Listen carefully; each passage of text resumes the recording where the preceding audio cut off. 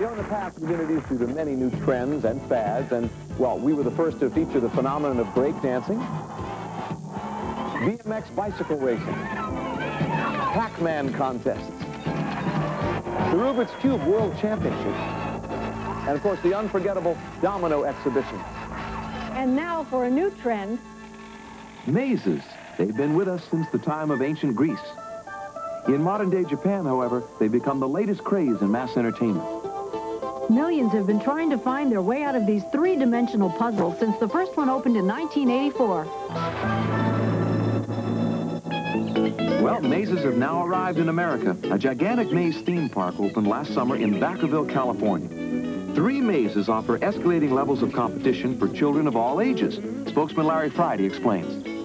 We're all looking for a different way to spend a day, and the maze offers a, uh, a challenge. I think the American people are into beating their own time, bettering their record, and so on, and that this provides that opportunity. Easy. It is. Fabulous. Pretty I'm lost. He's more lost than I am. The way you wouldn't think of making it is the way it actually is. So if that made any sense, it makes about as much sense as this place did. What made sense to us was a race against the clock by three people determined to master the maze in record time. They weren't your average everyday maze walkers. They were specially selected competitors. Challenge number one, Steve Wozniak. Now, Steve, who's known as Woz, is a computer whiz. His IQ is probably higher than his weight. But how will he perform when the chips are down? Challenger number two, Ann Meyer. She's a four-time All-American basketball player, an Olympic silver medalist, and the only woman ever drafted by the NBA. She's sure to be a tough competitor. And challenger number three, Jeremy Hopkins. He's young, he's determined, and he's full of enthusiasm, but can he overcome the brilliant strategy of his adult adversaries?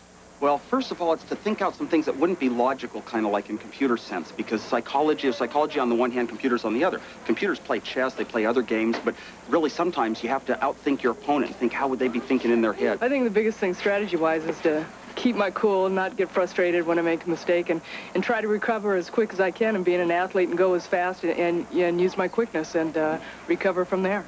I'm going to just go out there and have fun and try my hardest. None of the three has ever run a maze race. Now, in this race, the course consists of a quarter mile of winding pathways, but the most direct route through it is probably only a tiny fraction of that. Our competitors will face numerous kinds of obstacles because the maze is riddled with blind alleys and dead ends like this one.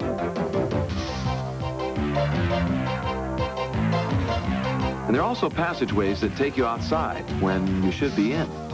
And there's a bridge from which our challengers can try to regain their bearings. Each of the competitors will be running through the maze individually and against time.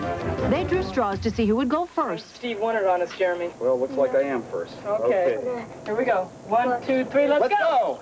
go. And this is your incredible sportscaster, Roy Firestone, with a play-by-play. -play. As you can see, Wozniak's off and running, followed by Annie Meyers. Then by Jeremy Hopkins.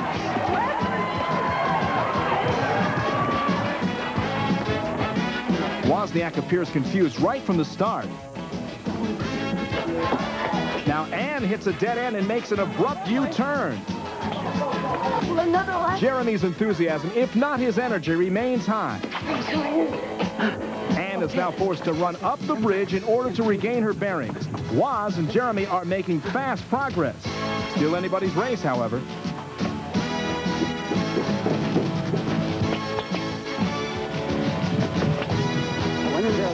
Wozniak trailed by our cameraman, and a maze official seems to be taking the lead. But Ann and Jeremy not far behind on the clock. Woz making great progress. Looks like he's on his way to victory. Oh, no! From the finish, and he turns back into the maze. He goes up the bridge, trying to figure out just where he's at. Now Annie has an excellent chance to win. Wozniak continues to be lost. Jeremy's speeding into the middle of nowhere. Oh, wrong one. Ann's near the finish line, making all the right moves, a couple more turns, and she'll be there. And on her way to a victory, perhaps one more turn, and here she comes. She's done it. Her time, 1 minute 24 seconds. First, I just went out full board and, and just went where the maze took me, and I got lucky. Now, luck is what Jeremy needs right now. He's back where he started.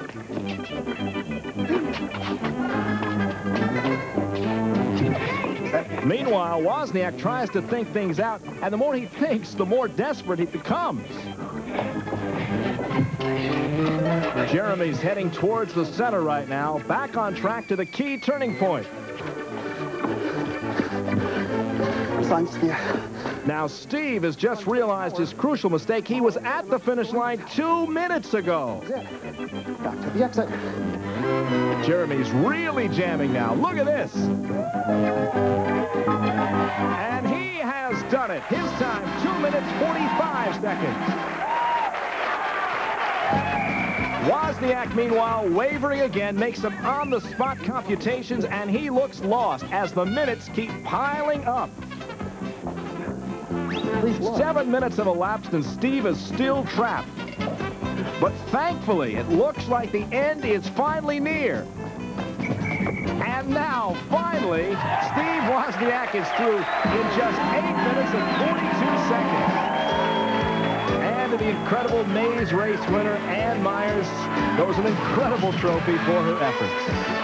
This is your amazing maze race announcer, Roy Firestone, saying so long for now.